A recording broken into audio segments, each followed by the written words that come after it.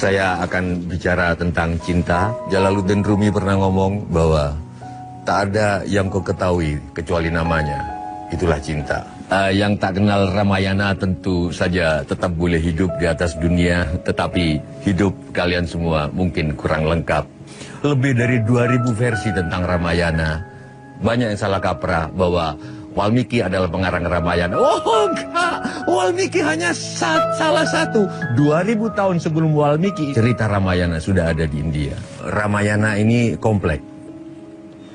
Bercerita tentang uh, Rama dari Ayodhya yang menikah dengan uh, putri Mantili bernama Dewi Sinta. Pernikahan keduanya ini sakral karena dianggap perkawinan langit dengan bumi. Dewi Sinta mewakili bumi, Sinta Siti artinya tanah, uh, Rama uh, pengejawantahan dari Wisnu untuk memayu Hayuning Bawono untuk menjaga harmoni semesta.